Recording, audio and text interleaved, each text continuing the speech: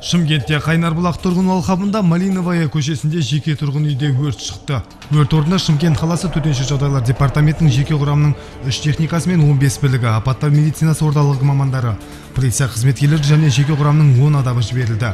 Өрт сөндірушілер келгенге дейін көршілер үйден 1969 жылы туған ер адамның мәйітін шығарды.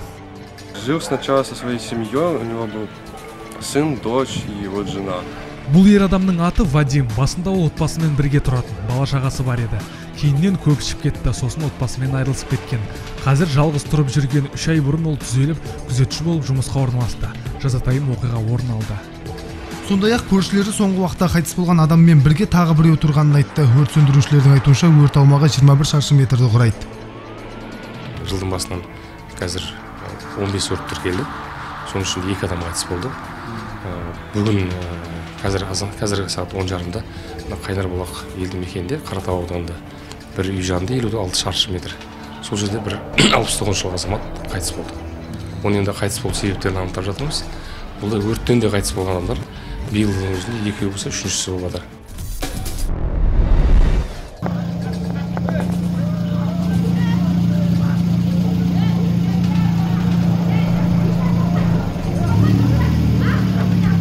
жол көлік оқиғасының соңы жолаушылар арасындағы үлкен жанжалмен аяқталды. Оқиға 19 ақпан күні гагарин көшесінің бойындағы сму төрт аялдамасында болған. Алдын ала мәлімет бойынша бмв және ваз 2109 автокөліктері гагарин көшесі бойымен қозғалып келе жатқан. Бмв жүргізушісі осы уақытта үлкен жылдамдықпен қозғалып келе жатқан ваза жүргізушісімен бмвдан оң жақтан айналып өткен. Қарама қарсы жолаққа шығып апат жасады. Бмвдің агрессивті көңіл күйдегі жолаушылары бірден ваза жүргізушісіне қарай атылды. Осылайша ұрыс айқай басталып кетті.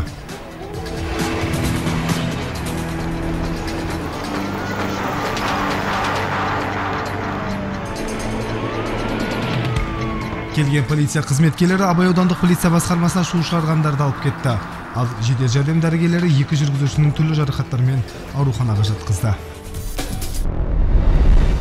Бейнерегистратор камерасына түсірілген бейнені бағдарламаның тұрақты көрерменінің бірі редакцияның WhatsApp нөміріне жіберді кадрде жеңіл автокөлік қаланың тас жолының бірінде ағашқа кіргенін көруге болады апат орнында жедел жәрдем дәрігерлері жұмыс істеді зардап шеккендерді ауруханаға алып кетті дейді видео авторы О, и мана ана терек көрген мана ағашқа.